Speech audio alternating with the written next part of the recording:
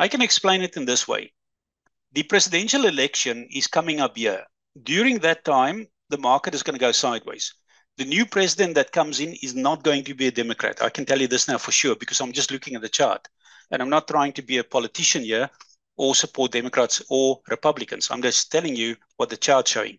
If we drop here, there's no way this is a Democrat run presidency. This is a Republican run presidency where they say we want to make the economy bigger. We want to drill for oil and gas.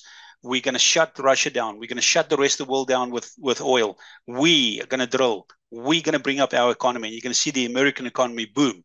And this is what happens there. For some reason, Democrats over the number of the last 20 to 30 years have always stifled an economy. Look at this, for example. When Biden took over here, you know, we were perfectly in a down cycle where the market went up. Remember, the US dollar drops, the world does good. So, yeah, the whole world, while the Republicans were in control, had a booming economy, even after COVID. COVID didn't even affect it. Remember the second wind that the US economy got, and then the presidency was lost. And look what happened here. Joe Biden, Democrats took over, and look at that. That is a terrible sign. This is a lousy economy. When you see that stair step move there, it's, it's the death. It's the sign of the death of your economy, the sign of the death of your country.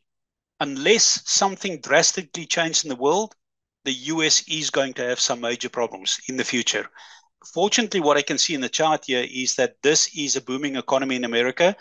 They try to take out the president that wins because they're not going to like what he's doing. They're going to fail. And then, if the next president takes over now in 2024, by 2028, the Democrats lose again uh, for another four years. Then, after that, it's game over. Democrats win, and that same stair step move that you have here is going to happen there, but in a very bad shape.